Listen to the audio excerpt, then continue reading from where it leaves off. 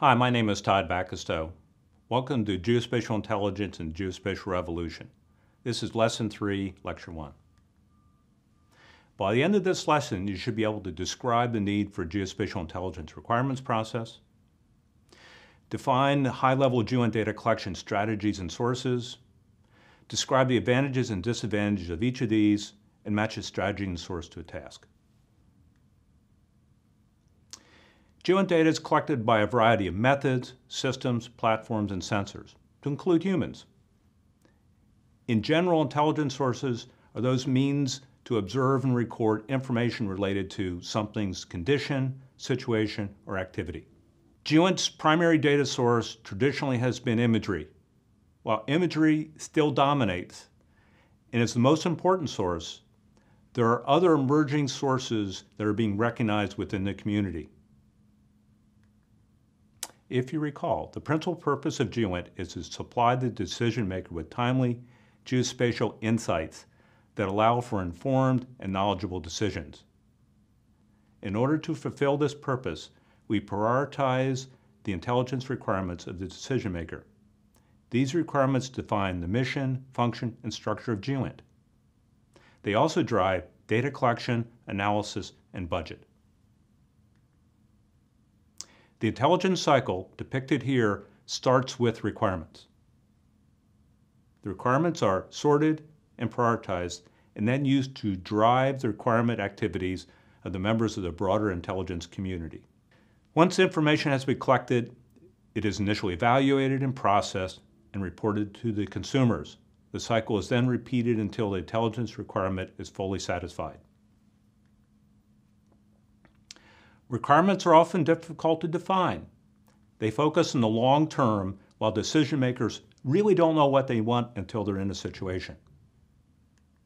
Collection management is a formal process of converting intelligence requirements into collection requirements, establishing priorities, tasking or coordinating with appropriate collection resources, monitoring results, and retasking. The collection process includes determining what should be collected. There are four criteria for this.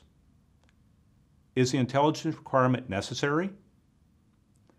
Is it feasible to collect the information? Is the requirement timely? And do we have enough information to properly collect the information?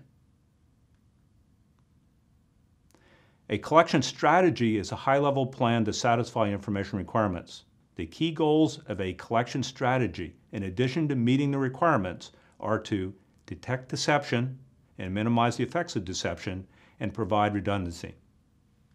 Detecting deception requires analysis of information from a variety of sources so that information from one source can be verified or confirmed by others.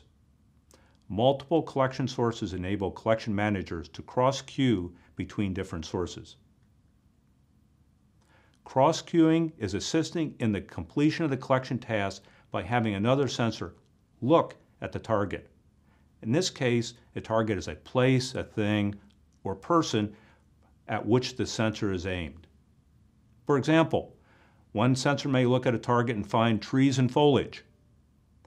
Another sensor may reveal that the object that we think are green leaves are actually painted plastic and the tree is camouflaging something.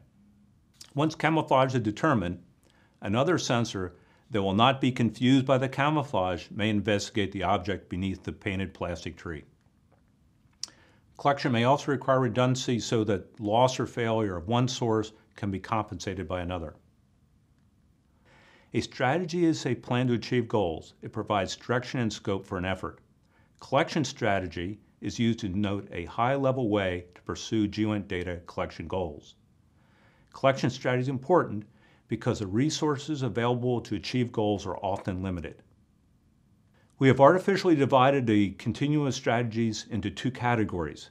These categories are persistent collection and discontinuous collection. Persistent collection is a strategy that emphasizes the ability to use collection systems that linger for a period of time over an area. These detect, locate, characterize, identify, track, and possibly provide near real-time data. Persistent collection facilitates the collection and prediction of human behavior, for example, pattern of life. The goal is to achieve near perfect knowledge by increasing the rate and regularity of data collected, and thereby understanding about the target. This enables a faster decision cycle with more frequent and detailed data. The collection strategy is that a target will be unable to move, hide, disperse, deceive, or break contact. The intent is to improve decision making. In different domains, persistent collection is called persistent surveillance, intelligence, surveillance, and reconnaissance, or ISR, persistent stare, or pervasive knowledge. Unmanned aerial vehicles, or UAVs, are frequently associated with persistent collection. UAVs are also known as drones. UAVs are being used in traditional and emerging industries such as agriculture, land development, surveying and mapping, forestry, marketing, environmental and marine research, oil and gas exploration, homeland security, and law enforcement. Discontinuous collection is not a full record of activity during a period of time. May also be called non-persistent collection. Discontinuous collection is not a permanent stare at the target. A permanent stare might not be possible. We might not have the assets available, might not be technically feasible, or we might have limited resources. While losing information, the practice of discontinuous collection of data has long dominated the discipline.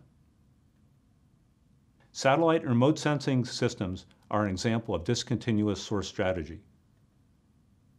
Here, sensors are mounted on aircraft or satellites orbiting the Earth. Spaceborne remote sensing provides repetitive coverage of an area of interest. Discontinuous collection occurs when any sensor sporadically provides data. Consider your cell phone as a sensor. A cell phone can be a discontinuous sensor.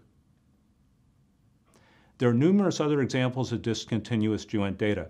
For example, highway toll devices that record your point of entry and report of exit from a toll road. Twitter's another example. Tweets can be geotagged to record information about the location of the device that created the tweet. Images taken with a phone or GPS-enabled camera also record location. These are all examples of discontinuous data. This concludes the first lecture of Lesson 3. The next lecture, we will discuss GEOINT data sources.